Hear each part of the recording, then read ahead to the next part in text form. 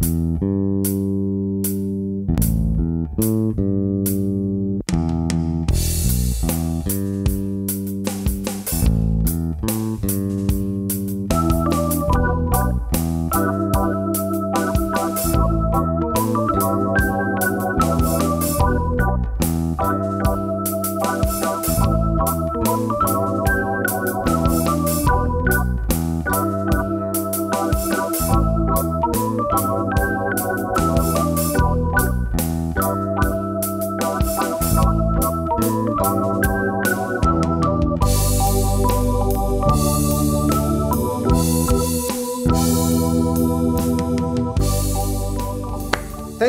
in uh, and welcome to another episode of The Many Hats of Coco. I'm the host, Theo Shuk, and today we're at the Tronson Art Gallery in Springfield, Oregon. Uh, today we have a special guest with us today, uh, artist Jerry Ross, who has a show coming up in this very gallery that will be showing through the end of November of this year, 2017. And Jerry, care to come up and join me? Yes, thank you very much. Thank you so much.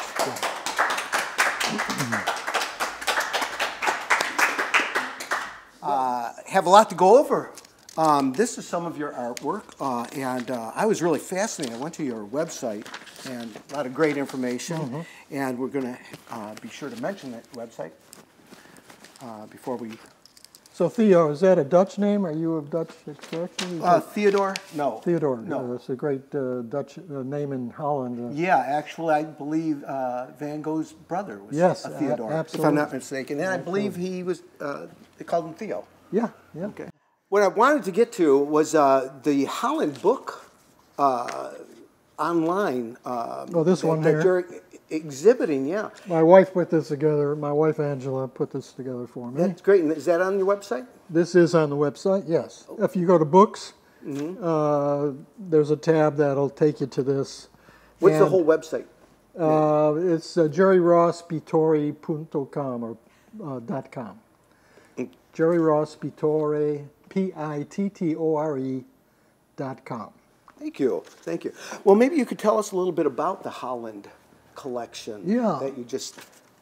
Well, I had a great opportunity to have a one-month painting residency in Holland, which uh, started out, I was trying to get a res- residency in Portugal.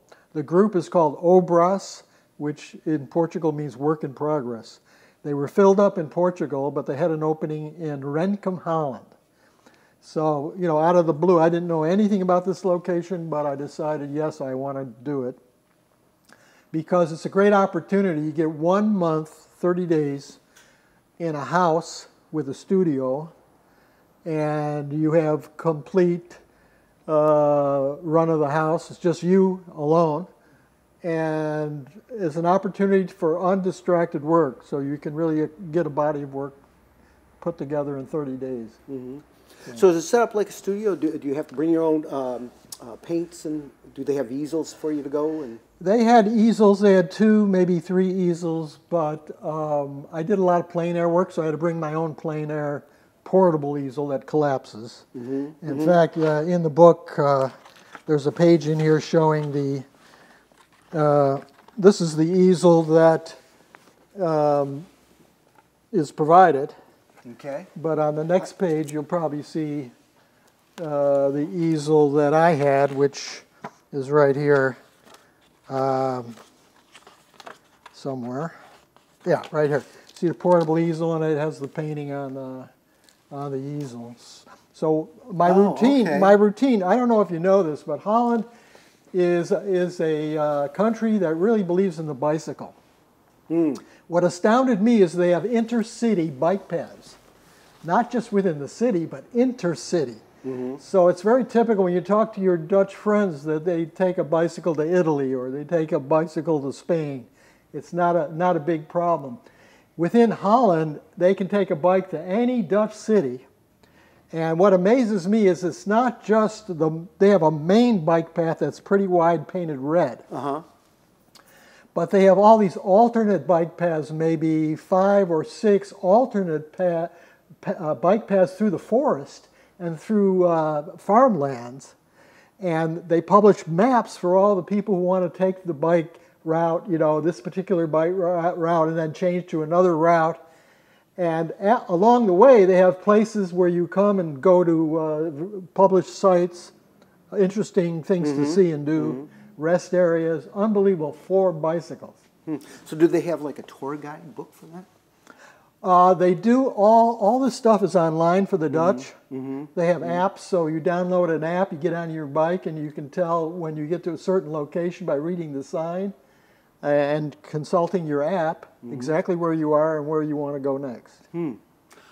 That's all well and good. I want to get to your art. Okay. Uh, you actually uh, told me a couple of things about some pieces. These are your pieces behind, yeah. and maybe you could just uh, to to get an idea of your art. So you did thirty paintings in 30 days. One a day, yeah, pretty much. Uh, That's pretty intense. Let me start with this one because uh, in the 17th century in Holland was called the golden age of Dutch painting. So mm-hmm. you had Rembrandt, Frans Hals, Vermeer. So this is my copy of uh, Vincent uh, van uh, Lorentz, who was a noble and was painted by Frans Hals. I didn't know this because I just did this from a, a photograph or an image I found on the internet. But in reality, a lot of these are real small paintings. I, it kind of blew my mind when I went to museums and hmm. saw the Frans Hals. A lot of them are very small. But this is how I interpreted it. And uh, what I like about Frans Hals is he, uh, he believed he was a painter of realism, but with a loose brush. So he, this is the 17th century. And the Dutch had this way, both, you can see it also in Vermeer. They anticipate modern art by emphasizing structure and loose brushwork, which was in the golden age of, uh, especially Rembrandt. Rembrandt had a 20 foot long brush. A lot, Is of, that right? a lot of people didn't know that, but he would get way back from the painting and paint with this thing that seemed like impossible to handle. and when you step back, when you get close to a Rembrandt, it kind of breaks up. But when you step back from a Rembrandt, it all comes together. That's fascinating. I would have, uh, I would have imagined the loose brush more an impressionistic, just because it seems like you would lose some control. Absolutely, but uh, the beginnings of, let's say, uh, Impressionism really is in the golden era of Dutch painting, uh, mm. Rembrandt mm. and Vermeer uh, and Frans Hals. Frans Hals painted often inebri- inebriated. Mm-hmm. So I'm glad we're drinking some wine here to. In. So, so, we, so we can relate? we can relate to Frans Hals. Here's to that. But his style was revolutionary because it was very loose. And the Dutch really appreciated this kind of loose approach. So uh, what happened was I was in Renkum, which is known as an artist village for a very important reason. Uh, in the 19th century, especially the late 19th century, there was a, a movement in France called the Barbizon School. So you had Millet, you had Corot, uh, Daubigny would uh, arrive in, in a province of France known as uh, the Barbizon, and they would uh, paint outdoors in the plein air. That was the beginning of plein air painting. Their style was still very realistic, very tight, wasn't loose like Impressionism. But later on, the Dutch imitated the Barbizon school in Renkum. And uh, the painters of the, it's called the Dutch Barbizon, were in the area where I was having my residency. Historically, mm-hmm. the school of Oosterbeek is, uh, is, the Dutch Barbizon school. Mm. And they painted impressionistically. And what was nice, uh, I was kind of impressed about the town because when you the town is about the size of Junction City, um, maybe a little smaller. But when you walk through the downtown of Renkum, by the way, Renkum is on the east part of uh, the ne Netherlands, closer to the German border. It's not where Amsterdam is, which is on the west. Mm -hmm. And uh, anyway, when you walk through Renkum, they have these large reproductions of all the, the paintings from the school of Oosterbeek uh, on every block and in stores. So you would go into a store and they would have one hanging from the ceiling, you know. So it was a way to really appreciate and honor their, their uh, they call them the old masters of uh, Renkum. In actuality, they were more modern. Hmm, hmm. Uh, you also told me about this young lady who was uh, one of your subjects. How did this come about? Well, one of the real kicks I had was meeting the people right around the house. So when I first got there, I started painting the backyard.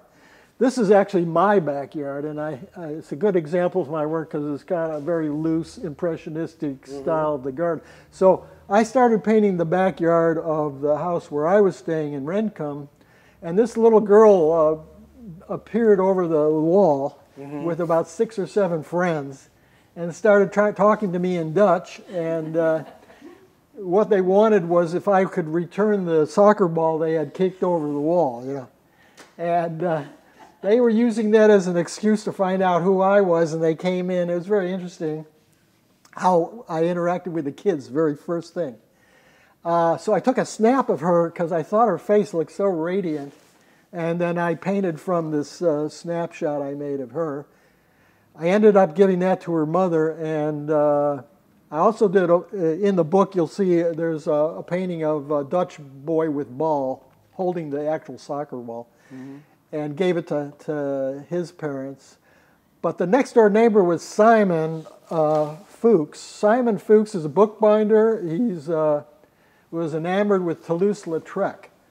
And he had all these books uh, about Toulouse-Lautrec and Toulouse-Lautrec's teacher. And anyway, I could go on and on about Simon. He invited me over for dinner, a real Dutchman, a real character. Uh, the Dutch all have some kind of uh, manual trade that they do or some talent, and his is bookbinding. And then the other portrait over there is Gerhard, Ger- they say Ger- Gerard, Gerard, G E R A R D. Uh, he owned a, an Airbnb in uh, in Renkum, and he and I became good friends. We went biking, bicycling together, had a lot in common, and I ended up doing his portrait, which he purchased. So what you're seeing there, in fact, Simon purchased his portrait. I ended up doing portraits of each of those guys and got real close to them as a result. They liked that. They bought the paintings. So th- these are actually digital print to canvas, and they look like they might be the real the real deal, but they're not. They're not original. Oh, wow. Hmm. Which brings me to another subject. One thing I discovered upon returning from Holland is kind of a new uh, approach to painting, which is to take the digital print to canvas and then to keep painting on it. Because often, people don't know this, but oil painters often uh, get to a stage in painting that they really like, but they go a little too far and it turns into something else. And you say to yourself, gee, I would like to go back to that spot where I ruined it, you know, or where I took it too far. Well, if you take a picture of each stage along the way of your painting, I discovered you can do a digital print to canvas. And then it's interesting, if you go with oil paint on top of that, uh, for a while, it, no matter what you do, it still looks like a print. But it reaches a stage of saturation where the oil paint begins to stay on the surface. And at that point, you actually have a new original work of art. So you don't necessarily lose the original. You put enough paint on it, and it can be sold as an authentic original, even though underneath it is some kind of print material, So you keep saying oil. Is it acrylic or are you actually working with oils? an oil paint. Wow. People don't do that much. It takes forever to dry. Well, here's the deal. This one on the corner is one of those digital prints that I painted on with oil paint, and I changed it quite a bit. Um, but right now, uh, what I found out is something about the type of canvas they use when they print, do a digital print to canvas, absorbs the oil quite quickly. This means the drying time is almost like acrylics. Is that right? So you can paint on that with oils. The only thing I did discover, and a lot of this is experimental at this stage, but I did discover that if you take a rag and you rub it down, a real oil painting, if you rub it, let's say what had dried earlier will still be there, but not in this case. If you rub it with a rag, everything goes because there's some kind of substrate from the ink from the printer that wipes everything away. So if you're careful, however, make small changes at, uh, uh, incrementally, you can rescue your, your paintings that you thought were lost forever. So it's kind of a discovery. Yeah, kind of fun. Yeah. Well, we have time. Let's talk a little about, bit about you. Okay. Uh, did you always know you were a painter? Have you been painting since you were a child? When, when did this passion grab you? Uh, I paint, I'm a childhood painter. I was kind of painting at the age of six or seven, and I don't know why. I was asking my father for an oil, oil painting set. I don't have any idea why I was doing that. Um, my father finally relented and gave me a professional oil painting set. I was about eight, eight years old when I finally got a hold of that. And then in, ele- ele- in grade school, a teacher had uh, kind of singled me out as being very talented, and she, uh, she asked my mother if I could go with her on Saturdays to a grown-up art school on the weekends, uh, just on Saturday. So my, mo- my mother agreed that I could do that, and it was like for one dollar. And uh, so I did that for several years, maybe three years, and I was out painting with teenagers. Uh, The other students were teenagers. I was like eight or nine years old. So that really, you know, when you are that young and you're hanging out with teenagers who are painting, you know, you feel so, uh, you know, I'm special. I, I can do this forever. So I kind of did that. Uh, So you're from, I, I read your autobiography, uh, you're from the Buffalo, New York area. Yeah. Did that color your perspective at all, do you feel, uh, coming from a cold, blue collar environment? Absolutely. Uh, they call it, Buffalo's called the city of no illusions uh, for many reasons. It's an industrial, working class, uh, Bethlehem steel based uh, economy. Mm-hmm, Now Bethlehem's gone, but uh, at, at the time I was growing up, it was blue collar, industrial, working class, very kind of drab town, mafia infested. Uh, and then eventually I got into radical politics when I was at the university, uh, anti war. Just watching the Ken Burns uh, Vietnam series. Yeah, yeah. Saw, my, saw our banner, the Buffalo Nine, because I was in a federal trial, two federal trials, uh, as a result of a, uh ant, uh, draft card burning uh, situation sanctuary in a Unitarian church. And we, we were attacked by FBI agents and federal marshals. And I ended up uh, two federal trials. Fortunately, I had a hung jury in both. But some of the guys went to prison for six years in federal penitentiary. So Well, that begs the question, did, did uh, politics color your art at any point in your absolutely, yeah. In fact, I've been involved in local arts politics here in Eugene for quite a while. Uh, I have. I just want to show. Uh, we I used to get a lot of good press from the Register Guard. Uh, as an example, uh, Bob Keefer, who was fired from the Register Guard, who was our art editor. Uh, here is Painter of the People. Jerry Ross tackles whole crowds in a new series of pictures. Picture of me in my studio.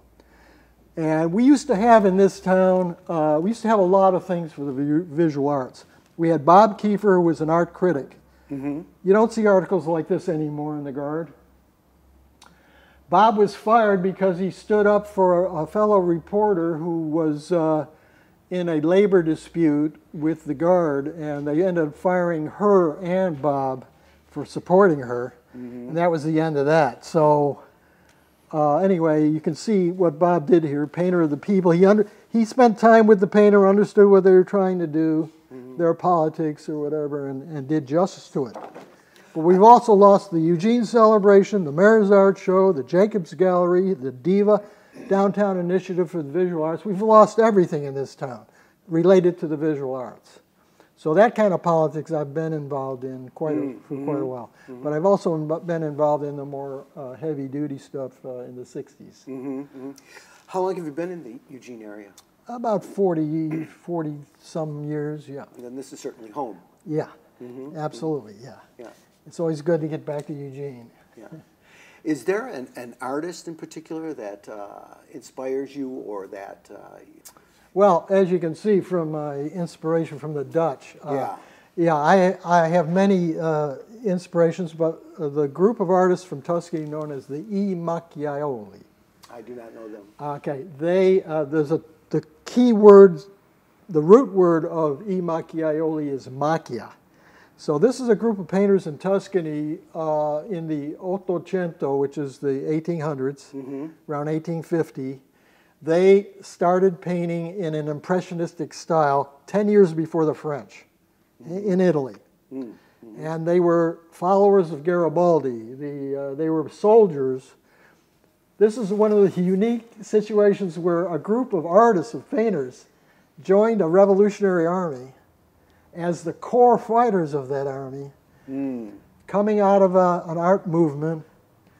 And uh, the idea was to unify Italy, to establish a, uh, the republic over a monarchy, uh, to redistri- redistribute the land, uh, establish social justice for various groups, uh, emancipation of women, women's rights, women right to vote, uh, breaking down the doors of the Jewish ghetto and letting Jews assimilate into society. All those things were goals of the Risorgimento. And these painters got behind that. Those crazy artists. Always, always. Theo, I think Coco has a question. Ah, Coco has some questions. Well, Coco, I'm glad you can make it. Hello, Jerry. Hi, Angela. How would you Coco. describe your style? Coco? I'm sorry, Coco. How would you describe your style? Oh, I'm glad you asked. So my style uh, would be described as, well, impressionistic or expressionistic. It's a little confusing there. Uh, Impressionism uh, was characterized by putting many people in the painting who were, I would call, bourgeois people on vacation. You know, picnic, picnic on the, gr- in the grass, or uh, um, people lounging about with umbrellas and boats and this kind of thing. Right. That, that was the French Impressionists. The Expressionists, or even the Post-Impressionists like Van Gogh, uh, they had more angst. They had more. Uh, they were bleeding more. They were more involved in the the people and various socialist causes, and their therefore their work is a little more serious. In some cases, less colorful, but always more uh, dal vero, after truth, after life, verita. They put the people in the fields. Absolutely. Wor- uh, the work the work of the I Macchiaioli depicted people doing work, useful work, especially women. Wi- They depicted the lives of women that had been ignored completely by artists, going about their daily chores and doing daily work in the fields or in the home, that kind of thing. They painted the Jewish ghetto in uh, Florence, Italy, in Rome, and they depicted truth, which had been uh, taboo prior to that time. So my style is based on that. So, for example, when I went there, um, went to Holland this time, I uh, painted uh, the backyard as I saw it. I painted the canals by getting on the bike and going there, uh, the wild horses along the Rhine, and the ferry boat along the Rhine. Basically, everyday life as I encountered it and saw it. And uh, It's both impressionistic and expressionistic at the same time. Thank you. Great question, Coco. Do we have some more? Yes, uh, Jerry, I would like to ask you regarding your trip to the Netherlands. Did you plan ahead for all 30 paintings, or was it a day to day decision? And a second part of that question is where are those paintings now? Pretty much there was no planning involved. I didn't even know what to expect. I I arrived there. I knew I was going to do some painting, but I had no idea what it was going to be. So I started on the backyard, then I started in on the neighbors, and then I finally had courage to get on the bike. They had three bicycles there. I finally had the courage to get on the bicycles with my art equipment. Went down to the ferry boat, and the guy in the ferry boat says, Would you do a painting of the ferry boat? So I did a painting of the ferry boat and gave it to the ferry boat guys. Then I realized, well, I need a copy of that, so I made a, another copy for myself of the ferry boat painting. And uh, anyway, I ended up with 30 paintings at the end, which are now sitting in our basement to be transported over to the Jim Tronson Gallery for the uh, opening of the show on Friday the 13th. Such a lucky day. Uh, uh, I know this is going to air after our reception, but uh, we're going for two months, October and November. You'll be able to see all 30 mm-hmm. paintings mm-hmm. that I did during the residency. Yeah. I would like to uh, uh, make sure that we uh, direct people to your website. Okay. So if you can spell it out. Yeah. And we'll also show it under the screen too. So. Okay, great. It's Jerry with a J. All it's all one word. Jerry Ross, R O S S. The last part is a little difficult. It means painter in Italian. It's pittore. P I T T O R E dot com. Great, and great. You got it. great. Well, that's it for us today. Jerry, it's been such a pleasure having you, and uh, enjoy the show at Tronson. Great gallery. Thanks. Yeah. yeah.